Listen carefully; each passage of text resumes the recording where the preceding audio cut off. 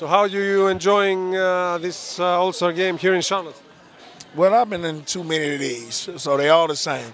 You come out and help, you get a lot of, you have a lot of fun, you enjoy the people that you see that you haven't seen in a long time. So this is almost almost my 20th All Star. So it's it's it's like a thing that you have to understand that you know, hey, come out here and you do the right things like I'm doing right now. NBA Cares giving back and, and packing backpacks with food to help the needy. So that's what that's what it's about. Where are your gloves?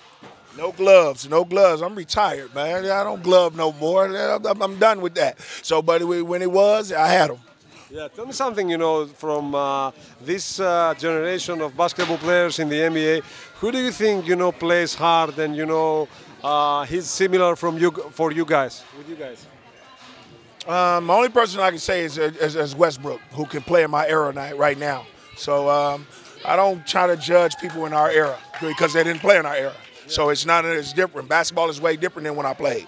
You know, we're a lot of rough, more rougher. We don't have a lot of more fouls. We can do a lot of more things. We don't have reviews. We didn't have reviews in there. We didn't have flagrant fouls like they do now. So it's a lot different. How do you see the, the game on Sunday between uh, Team LeBron and Team Giannis? We're coming from Greece. Do you like our Greek guy?